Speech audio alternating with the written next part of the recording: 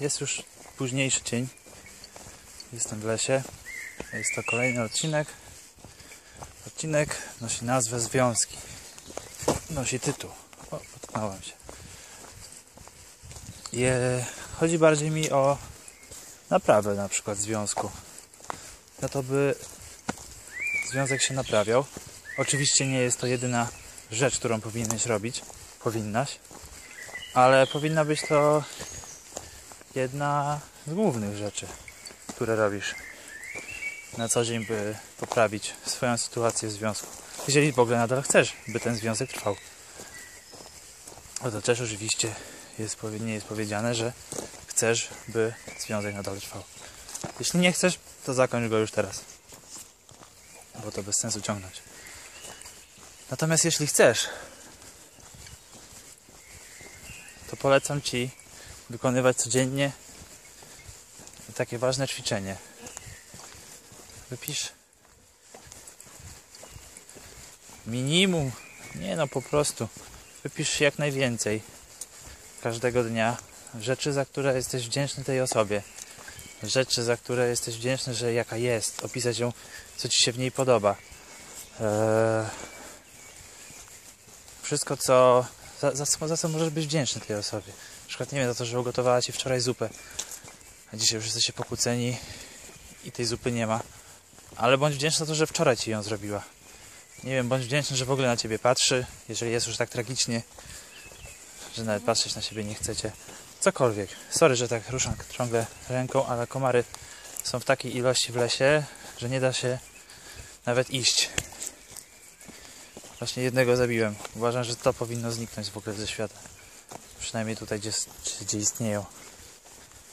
Bo uważam, że komary to są niepotrzebne. Bardziej w tych czasach, gdzie większość gatunków wszelakich umiera. No ale to umiera, żeby rodzić się na nowe. A propos związków. Jeżeli widzisz, że coś się psuje, to też jeszcze ważne, przestań robić dalej to samo, co robiłeś do tej pory.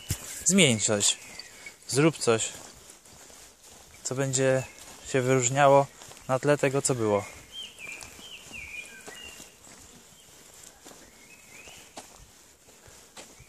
Okaż zainteresowanie drugiej osobie też, daj też sobie więcej czasu, jeżeli go nie miałeś. Na przykład zacznij, zacznij chodzić, biegać, chodzić na spacery, biegać, cokolwiek. Czytać książki, jak nie miałeś na to czasu. Daj też sobie czas. Nie możesz całkowicie poświęcić się tylko tej drugiej osobie, ponieważ na, długo, na, na długą metę nie wytrzymasz, nie ma możliwości. Musisz mieć czas dla siebie, musisz mieć na swoje przyjemności, na swoją pasję. Także pamiętaj, ważny jest też czas dla siebie. Oczywiście dużo uwagi zwracaj na swojego partnera, swoją partnerkę, ale nie, nie daj sprawić, żeby to było tylko, tylko patrzenie w jedną stronę. Gdzie jakbyście się rozstali całkowicie, to żeby nie było, że bez nich tracisz swoje życie i swój sens. Musisz mieć coś dla siebie, z czym zostaniesz. Nie możesz zostać z niczym. Nie możesz dać się całkowicie ponieść tej fantazji poddania się całkowicie dla drugiej osoby.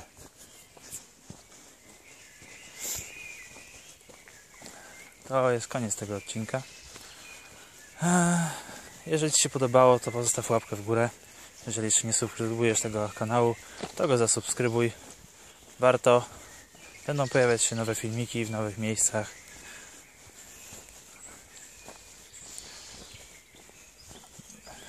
No, w nowych miejscach. Także do usłyszenia i wszystkiego dobrego.